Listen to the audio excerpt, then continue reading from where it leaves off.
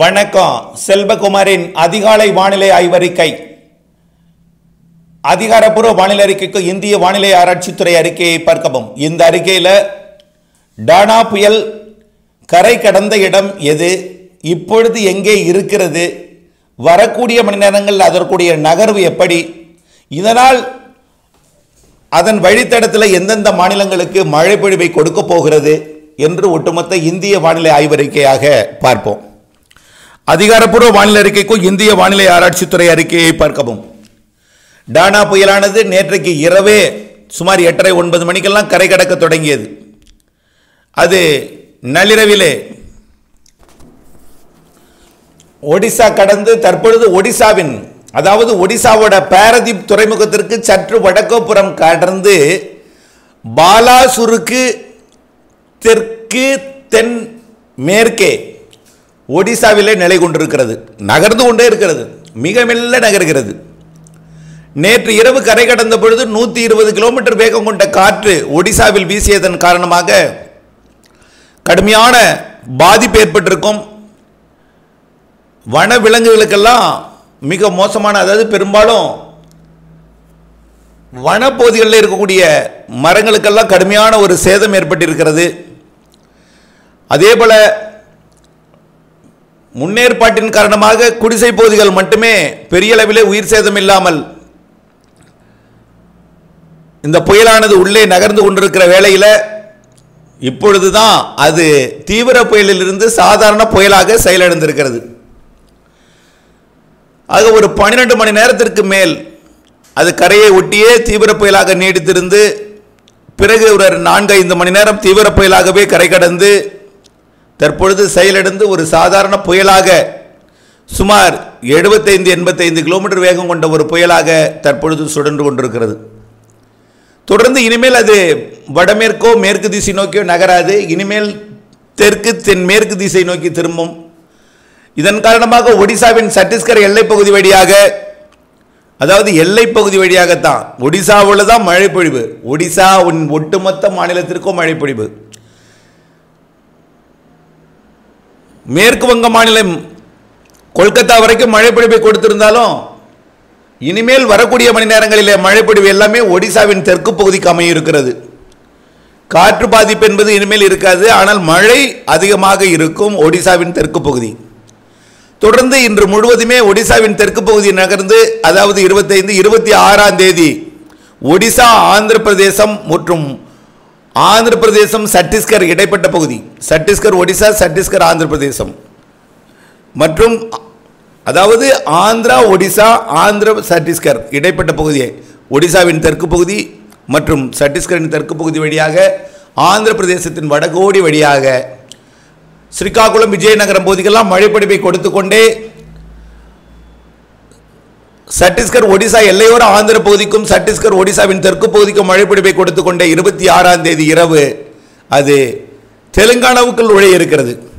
தெலுங்கானாவின் வடக்கு பகுதி வழியாக ஹைதராபாத்திற்கும் இருபத்தி ஏழாம் தேதி மழைப்பொழிவை கொடுக்கும் வகையில் நாளைய மறுநாள் மழைப்பொழிவை கொடுக்கும் வகையில் அமையும் என்று எதிர்பார்க்கப்படுகிறது. ஆனால் இன்றைக்கு அது புயலாக செயலிழந்திருக்கிறது வரக்கூடிய மணி நேரங்களிலே ஆழ்ந்த காற்றழுத்த தாழ் மண்டலமாகவும் இன்றைக்கு மாலைக்கு மேல் காற்றழுத்த தாழ்வு மண்டலமாகவும் பிறகு அது நாளை நன்கமைந்த காற்றழுத்த தாழ்வு பகுதியாகவும் பிறகு காற்றழுத்த தாழ்வு பகுதியாகவும் பிறகு காற்று சுழற்சியாகவும் தான் அது தெலுங்கானாவை அடையும்.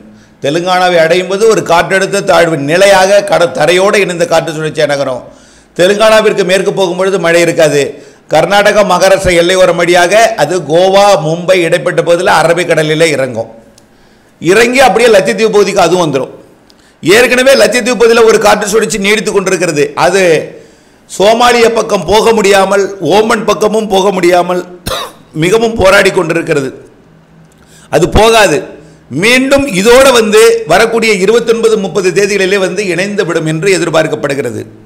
ஏற்கனவே லட்சத்தீவை தாண்டி நகர்ந்து கொண்டிருப்பதும் தற்பொழுது ஆந்திர பிரதேசம் தெலுங்கானா வழியாக நகர்ந்து போகக்கூடிய செயலிழந்த டானாவின் பகுதியோடு வந்து இணைந்துவிடும். பிறகு லட்சத்தீவு பகுதி அருகே நீடித்து கொண்டிருந்து கிழக்கு காற்றை ஈர்க்கும். தமிழ்நாட்டிலும் வளிமண்டலத்தில் காற்று சுழற்சி ஒன்று உருவாகி கிழக்கு காற்று மழை.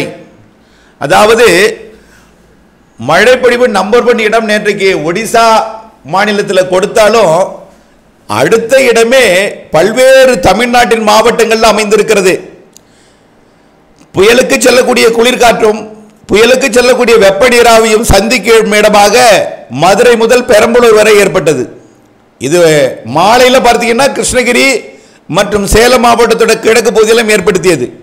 பிறகு அது டெல்டா மாவட்டங்களிலே காற்று குவிதலை ஏற்படுத்தி மதுரை ராமநாதபுரம் சிவகங்கை புதுக்கோட்டை மற்றும் திருச்சி அப்படியே பெரம்பலூர் அரியலூர் கடலூர் மாவட்டம் தெற்கு பகுதி ஒட்டுமொத்த டெல்டா மயிலாடுதுறை திருவாரூர் தஞ்சாவூர் நாகப்பட்டினம் காரைக்கால் எல்லாமே நிறைய மழைப்பொழிவை நேற்று இரவு கொடுத்தது.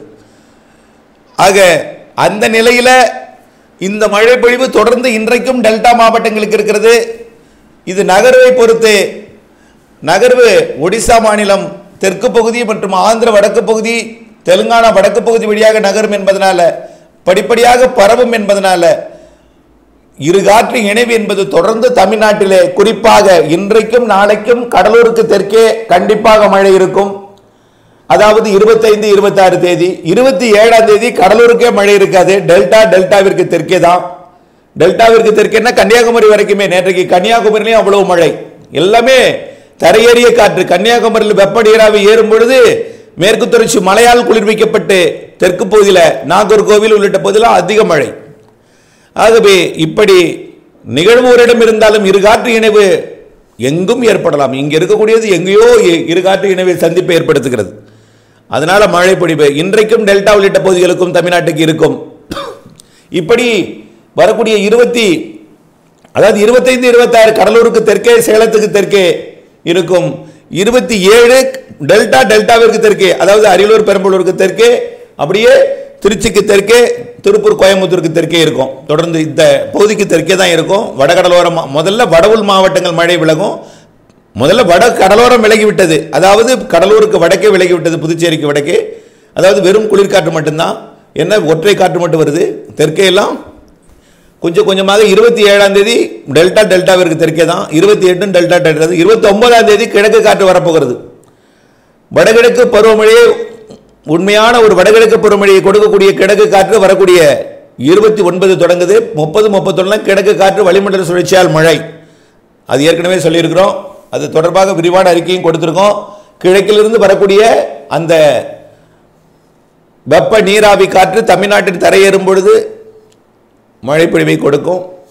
மேற்கே போகும்பொழுது வெப்பத்தால் லேசாகி மேலெடுந்து மேற்கு தொடர்ச்சி மழையில் அதிக மழைப்பொழிவை இருபத்தொன்பது முப்பது முப்பத்தொன்று தேதிகளையும் நவம்பர் ஒன்று ரெண்டு தேதிகளையும் கொடுக்கும்.